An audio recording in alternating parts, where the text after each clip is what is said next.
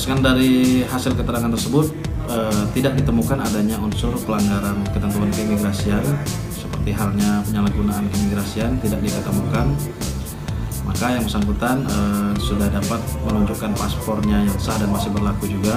Oleh karena itu kita kembalikan mereka menjalankan aktivitasnya seperti biasa dengan eh, di- eh, peringatan agar tidak melanggar ketentuan yang berlaku di Indonesia.